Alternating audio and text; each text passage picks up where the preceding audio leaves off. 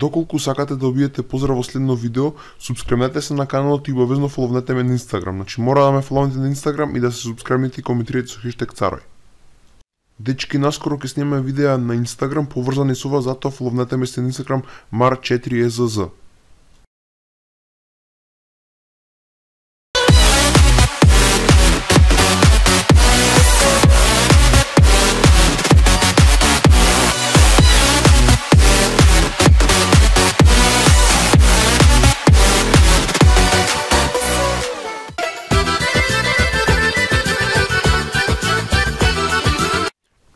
Мајко Светлано, ти зедов работи, значи, да јаеш да пиеш, а вич гајле да не береш овој вирусов, ништо не нимој, значи. Ево, се изнакупив тоалетни, папучи, влечки, види, на, носам крокс, најнови влечки ти зедов од гезер на пазаро, носи ги на. Значи, цела плата ебав, 15.000 шизелов, се поебав, е, ништо, се, ево, паста да четкаш забите ти смрдет ти корнеца, он кроми идеја шандега. Се изнакупив, значи, ти гајле да не береш. Браво, ревнучко, е таков те сакам, браво. Еј, а ревнучко, што си купил каша за бебина, ние немаме деца, немаме бебина.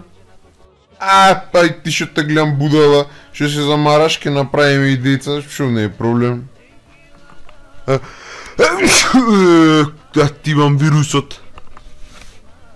Мори, неки е во мене бати старата, ке префатиш вирус, ти плесне да низ пенџера в комшикиш, будалена.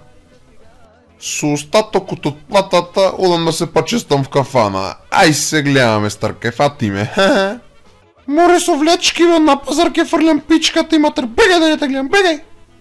Отишла си е па нека, е па нека, е па нека И туга е за човека Шуј, мори чуктата ила наму ке те чека пред банкана да се пувни веднаш. Ај те чекам таму само таткото и да не слушнит па да го најмаме после. Ајде, та за две минути ке банка на да ще чекам. Татко ти не е тука, нигде не не слуша татко ти, тој е убаво, значи татко ти го немат. Кој не вас слуша бе? Сега чипте чело ке ти вакна пичката и матер. Тој ке ојцо керка ми мамето твое.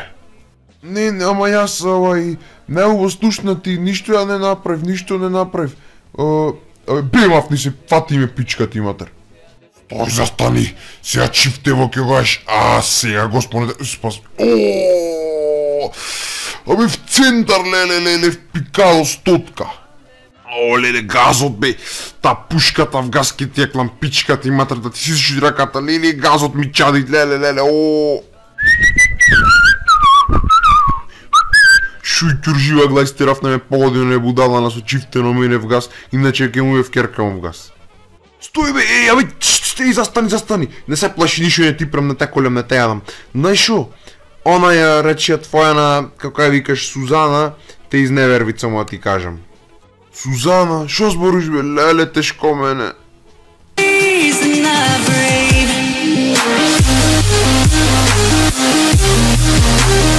А, Сузано швалери ми онакви видиш ува си беше пичка ти матер.